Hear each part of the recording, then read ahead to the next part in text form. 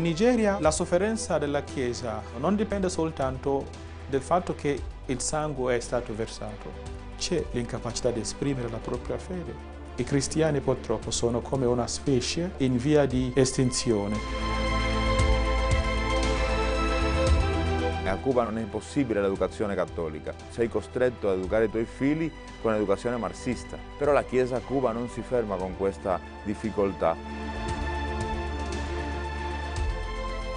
In Iraq a livello umano è molto difficile vedere le nostre chiese antiche profanate, distrutte, il numero dei cristiani che giorno dopo giorno diminuisce però noi siamo sale della nostra terra e per il cibo non ci vuole tanto sale per dare il sapore.